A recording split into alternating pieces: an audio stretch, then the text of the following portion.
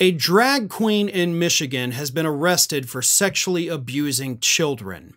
Oh, wait, I'm so sorry. It wasn't a drag queen. It was a MAGA church leader. A 29 year old man arrested for sexually assaulting children. Because that's apparently what happens when you try to tell us that it's the drag queens reading to children that are corrupting them. Kids need to be in church and then they go to church and apparently get abused by their pastors. Let me read you this. This is from Newsweek. The 29 year old worship director from Oakwood Church in Augusta Township, Michigan, faces 11 felony counts with charges dating back a decade. A decade! The man was arraigned, uh, Zachary Joseph Radcliffe is his name. He was arraigned uh, two weeks ago on two counts of aggravated child sexually abusive activity, two counts of child uh, sexually abusive activity, and six counts of using the internet to communicate with another to commit a crime. He could face up to 25 years in prison if convicted. The charges stem from incidents as early as 2014, according to court records. This man Radcliffe also happens to be a staunch MAGA supporter. He's got photos on his social media wearing his Make America Great Again hat. And of course, at CPAC in 2019, he went up on stage and performed a song. And then got a photo taken, which is also on his social media, with none other than Donald Trump Jr. and Kimberly Guilfoyle. And let's remember the first accusation of, of, sexually abusing a minor was from 2014. So in 2019, he's up on stage at CPAC singing a song, taking pictures with Trump family members. And now he could spend the next 25 years in jail.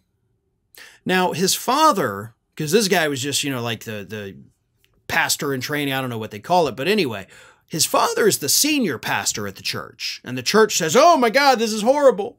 They suspended him with pay while the investigation was pending, and then a little while later they went ahead and fired him. But at least he got pay for the time he was suspended. Being investigated for sexually abusing children. We're still going to pay you, just don't come in. Jesus Christ. Seriously, where is Jesus Christ on this issue? But that may be blasphemous. My apologies. Again, what have Republicans told us for years now? It's the drag queens we got to worry about. They're the ones corrupting our youth. They're the threat.